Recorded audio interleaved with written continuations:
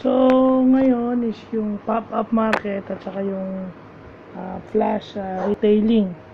So, yung pop-up market is a temporary location for promoting new products and ah, new businesses.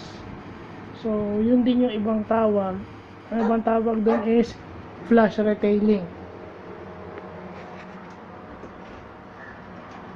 Sa tech companies, ah, lalo na sa mga mobile phones, uso yan. Uso yan. Nagkakaroon sila ng temporary places sa mga ah, alam nilang ah, alam nilang may tao na kailangan yung produkto nila. So, yun yun. Mga tech companies yan.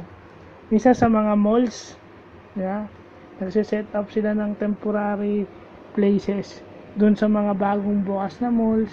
Alam nila na may mga tao doon na pumupunta na kailangan at titingin ng produkto nila. So, flash retailing ang tawag kasi temporary lang naman.